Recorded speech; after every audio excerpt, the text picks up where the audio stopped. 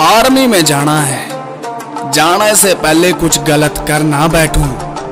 डरता हूँ हर पाप से।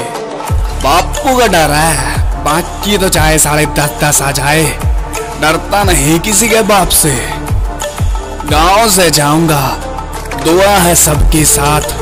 जाते टाइम बोल दूँगा। बापू आऊँगा तिरंगे में लिपट कर, वरना सरहद पर उन कुत्तों के सर खोल दूँगा।